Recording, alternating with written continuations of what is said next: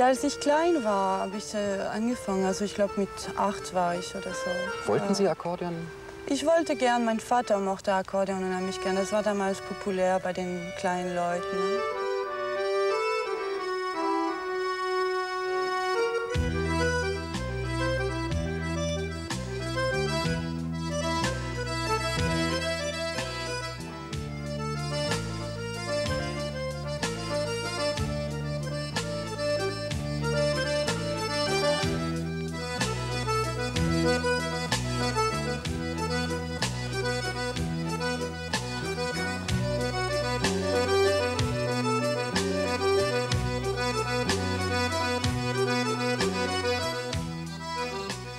Das Akkordeon ist ja eigentlich als Instrument ziemlich mit Vorurteilen belastet. Also ich denke da so an Ausdrücke wie Schifferklavier oder Schunkelmusik. Quetschkommode. Quetschkommode, genau.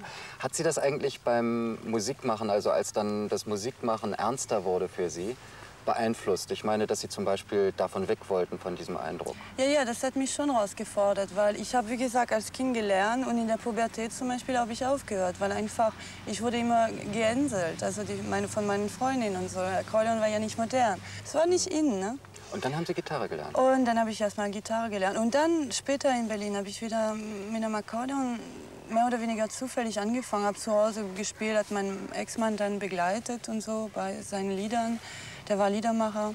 Und äh, dann habe ich gemerkt äh, wieder, dass es mein Instrument ist, dass ich das nicht äh, absprechen kann. Und dann war das eine Herausforderung für mich, also zu zeigen, dass es eben ein tolles Instrument ist und was man alles damit machen kann.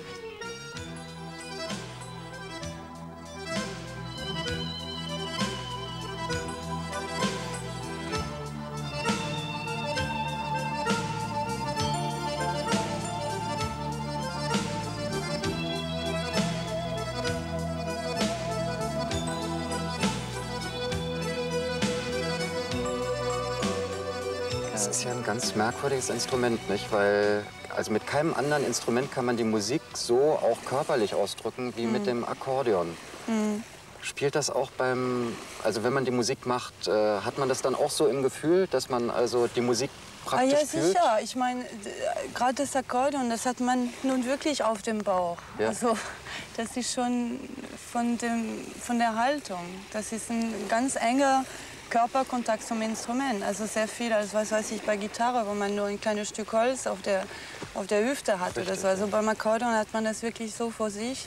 Und man fühlt auch, man, man, man, also ich fühle die, die Vibration im Akkordeon. Ja. Ja. Und das ist klar, dass man dann wirklich mit äh, dem ganzen Herz auch spielt.